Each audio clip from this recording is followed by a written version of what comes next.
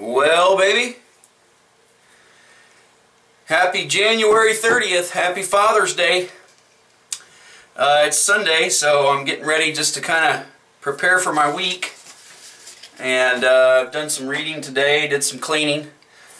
One thing I want you to know, we're rounding out our solar system now, right? We went Mercury, Venus, Earth, us, Mars, Jupiter, Uranus, yours, Neptune, and we got the final one.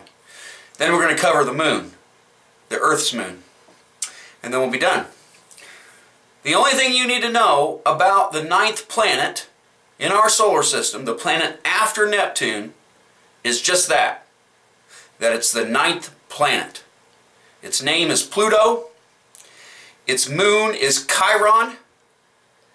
Just remember Pluto, the ninth planet.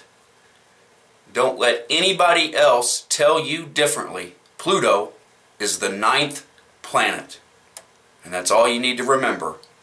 Today, January 30th, 2022. Happy Father's Day to you and to me. Pluto, the ninth planet.